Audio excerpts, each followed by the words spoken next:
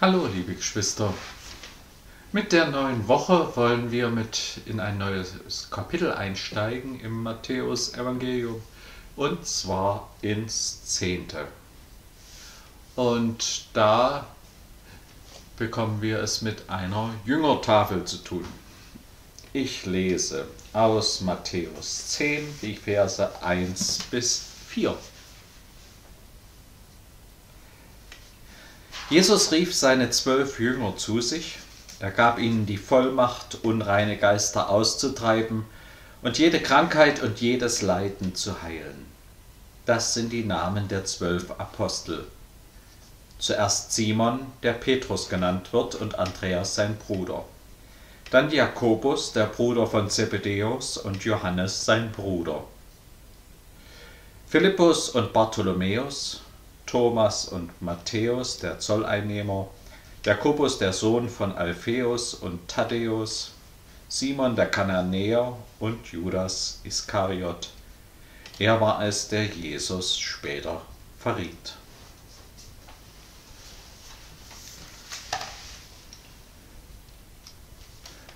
Liebe Geschwister, es heißt, Jesus ruft die Zwölf zu sich.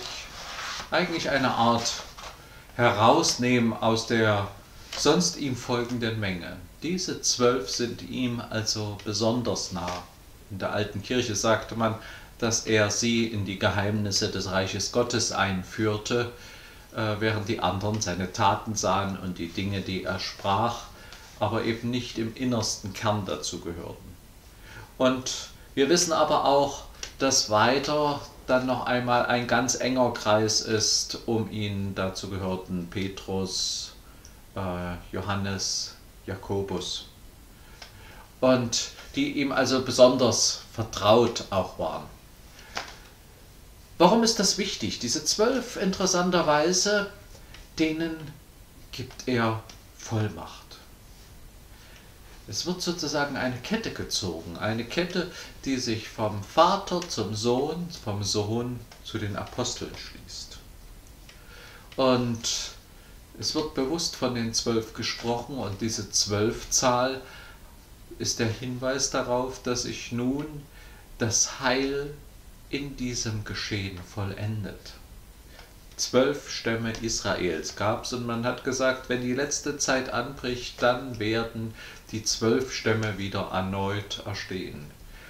Daher diese, diese Zwölferzahl für die Gesamtheit der Stämme Israels, zugleich auch für die Gesamtheit letztlich aller, die das Reich Gottes, ähm, ja, diese Stämme, die sozusagen verkörpern, dass das Reich Gottes anbricht, diese Namen, die auf den Steinen geschrieben sind, der zwölf Tore von Jerusalem. All das spielt eine Rolle. Es hat also eine Dimension, die auf der einen Seite zurück in die Geschichte reicht, zu den zwölf Stämmen Israels, den Söhnen letztlich des Jakob, und zugleich nach vorn ins Eschatologische hinein, also ins Jenseitige hinein, in der Erstellung letztlich oder dieses in das Reich Gottes hinein. Daher dieser Anknüpfungspunkt. Und das alles soll letztlich geschehen, wenn der Messias gekommen ist und ein neues Zeitalter anbricht, nämlich dieses Zeitalter. Und diese zwölf werden auch sitzen, so heißt es, diese Apostel, über die, die Stämme Israel und Gericht halten über ganz Israel das hat schon eine besondere Bedeutung. Und dann auch dieses, sie werden zugerüstet, unreine Geister auszutreiben. Also dass diese übermenschliche Kraft, die letztlich den, den bösen Geistern vom Bösen selbst gegeben ist, diese noch zu überwinden, ist Anteilnahme an der Macht Gottes. Jesus selbst gib sie weiter. Es ist nicht etwas, was automatisch in Menschen ist, sondern Jesus befähigt sie. Und ein zweites, diese zwölf sind tatsächlich die ursprünglichen Apostel. Gibt ja manchmal, dass wir auch vom Apostel Paulus sprechen, aber diese Apostel in der Gemeinde sind noch etwas anderes als die Apostel. Apostolos übrigens der Gesandte. Ähm, ist noch etwas anderes als diese zwölf Berufenen. Also Apostel in dem Sinne, wie Jesus sie beruft und mit Vollmacht erfüllt, ist nicht das unbedingt, was jetzt Paulus auch gegeben ist, sondern das ist mehr. Das ist etwas Entscheidendes an dieser Stelle und auch die sich später dann Apostel nennen, sind eigentlich auch nicht zu vergleichen. Ganz zu schweigen jetzt, wenn wir in die äh, neuapostolische Kirche hineinschauen, wo es das Apostelamt bis heute gibt, auch das ist nicht zu vergleichen mit dem Apostelbegriff damals. Sie werden zugerüstet, tatsächlich Macht über die Geister zu haben und das Unreine zu scheiden und jede Krankheit und jedes Leiden zu heilen. Also sie bekommen letztlich die Macht Jesu in seinem Namen zu wirken. Und es geschehen Zeichen und Wunder. Auf der anderen Seite an der Stelle eine Bemerkung meinerseits. Äh, Vorsicht, wenn heute von Wunder die Rede ist. Ähm, prüft alles. Nicht alles, was geschieht und alles, was angeblich im Namen Jesu geschieht, ist im Namen Jesu. Es wird da viel Schindluder auch getrieben mit diesen Begriffen. Nur wenige sind tatsächlich erwählt, Großes zu tun, auch heute. Nun zu den Namen der, ähm, der Apostel. Und interessant ist, dass wieder auffällt, dass sie ein Stück auch gestaffelt sind, äh, vor allem immer in Zweier-Teams sozusagen, also Paare. Wir haben als erstes Simon, Petrus und Andreas. Die sind uns schon begegnet, Brüder. Da haben wir die Berufung miterlebt. Brauche ich also gar nicht so viel dazu zu sagen. Und die beiden stehen an erster Stelle. Ähm, dann Jakobus, der Sohn von Zebedeus und Johannes, sein Bruder. Auch die hatten wir schon in der Be Geschichte. Interessanterweise gibt es ja solche Jüngeraufzählungen viermal in den Evangelien. Hier bei Matthäus, wir finden es bei Markus, wir finden es zweimal bei Lukas. Wo wir es nicht finden, ist bei Johannes. Und warum? Weil Johannes eigentlich die drei Evangelium von vornherein voraussetzt und deswegen sich auf andere Geschichten bzw. auch glaubensbildende Geschichten bezieht und das macht den Unterschied, so dass er sie im Einzelnen nicht aufzählt, wobei wir bei Johannes doch einzelne Details zu den Jüngern erfahren. Das ähm, spielt eine Rolle, genauso wie eine Rolle auch spielt, dass in einigen Handschriften, zum Beispiel der Matthäus, als Levi erscheint ähm, und auch der Thaddäus nicht vorkommt und dafür ein Judas auftritt. Äh, Judas, Sohn des Jakobus.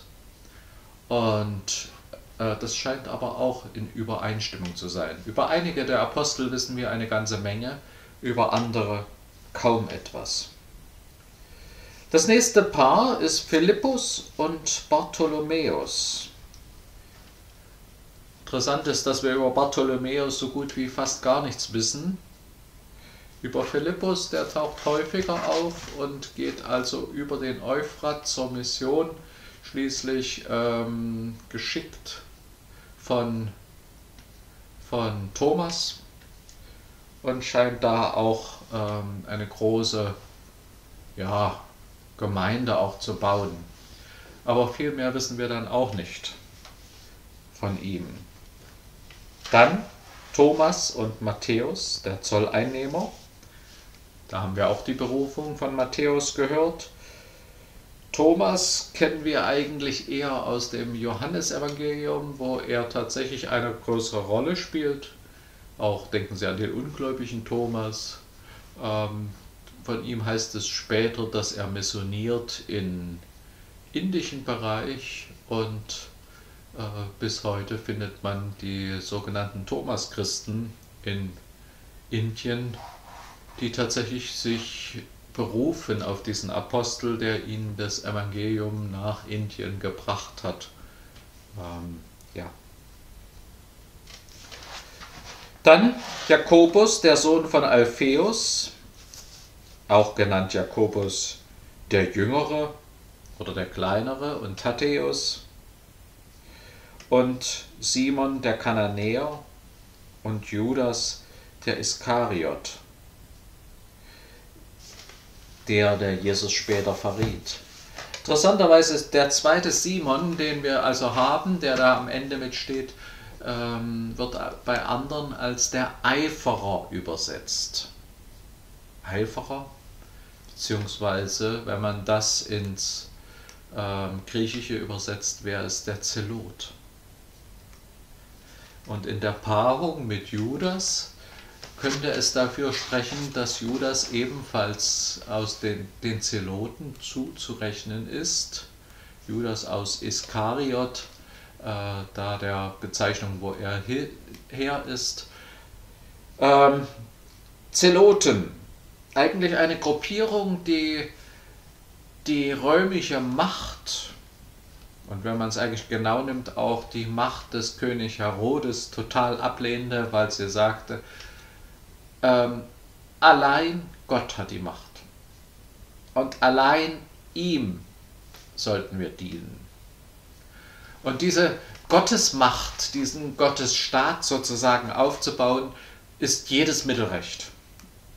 Und sie sind auch bereit, durchaus Gewalt anzuwenden.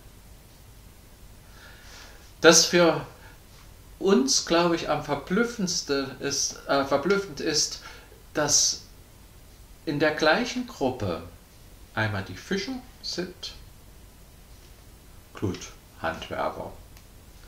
Zum anderen ähm, der Zolleinnehmer. Und genauso da auch diese Eiferer dabei sind, die eigentlich alles bekämpfen, was den Staat irgendwie dient und damit wäre eigentlich Matthäus ihr gefundenes Opfer. Aber um Jesus herum scheint diese Feindschaft keine Rolle zu spielen. Um Jesus herum, er bringt diese unterschiedlich denkenden Gruppierungen, diese völlig unterschiedlichen Menschen zusammen und gibt ihnen eine Perspektive. Und so unterschiedlich sie sich denken, äh, so unterschiedlich sie denken, so unterschiedlich Herkunft sie auch haben, sie bekommen einen gemeinsamen Auftrag als die zwölf. Sie sollen hingehen und sollen in dem Namen Jesu die Ernte einbringen. Denken Sie dran, wir haben das letzte Mal davon gesprochen, die Ernte ist groß, aber es sind wenige Arbeiter. Möge der Herr der Ernte Arbeiter in sein, seine Ernte schicken. Das geschieht nun hier. Diese Aussendung ist sozusagen, Arbeiter in die Ernte hineinzubringen, die diese Ernte einbringen, diese Ernte für Gott, dieses Verkünden des Reiches Gottes mit Worten und mit Taten und vor allem in dem Falle mit der Vollmacht Jesu. Das ist eigentlich der Kern.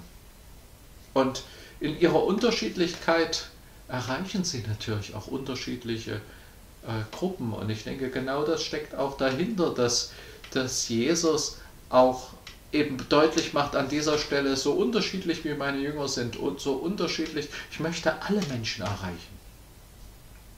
Alle Menschen, damit sie mit der Nachricht von Gottes Liebe, von der Nachricht berührt werden, dass sie das entdecken für sich.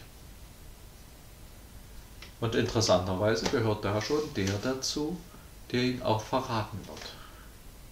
Mit Judas werden wir uns dann etwas später auch noch beschäftigen. Ähm, von daher will ich da nicht zu viel herausnehmen. Aber allein dieser, dieser Hinweis, den wir übrigens bei Markus und bei Matthäus finden, äh, bei Lukas unkommentiert, wird schon deutlich, dass da ein Augenmerk drauf gerichtet wird. Und da an der Stelle auch nochmal der Hinweis, als Judas, als der, der ihn verrät, sich umbringt, wird ein neuer Jünger hinzugewählt. Und er heißt nicht Paulus, sondern Matthias. In der Apostelgeschichte nachzulesen, die Wahl des Matthias zum Apostel, einer, der eben die ganze Zeit auch mit Jesus gegangen ist, alles miterlebt hat, alles mitgehört hat, aber eben bis dahin nicht zum engsten Jüngerkreis gehörte. Was heißt das für uns? Natürlich sind wir auch ausgesandt. Natürlich haben wir auch den Auftrag, das, was wir von Gott erfahren und von Jesus wissen, weiterzugeben. Auch wir sind Apostel, Gesandte, aber eben nicht in dem Sinn, wie Jesus seine zwölf Apostel aussendet, sondern als die, die mit Jesus gegangen sind und die entdeckt haben, dass die Liebe Gottes Menschen verändert. Und damit ist eigentlich jeder Christ einer, der diesen Auftrag hat. Geht hin, verkündet, lebt, lindert, hilft. Möge Gott uns dazu die Kraft schenken. Herr, wir danken dir. Du hast damals die Jünger berufen und du stellst auch uns heute in deinen Dienst. Unser Dienst ist nicht so wie bei den Jüngern. Wir haben auch nicht immer die Vollmacht, dass wir Geister austreiben können oder anderes und die Welt von allen Leiden befreien können. Aber wir können die Hoffnung hineintragen, indem wir es vorleben, indem wir von deiner Größe erzählen, indem wir von dem weitergeben, was du in unserem Leben tust. Dafür danken wir dir. Segne du unserem Dienst auch gerade im Kleinen, auch gerade da, wo du uns hingestellt hast, und sei und bleibe du bei uns. Amen. In diesem Sinne heute einen schönen Tag.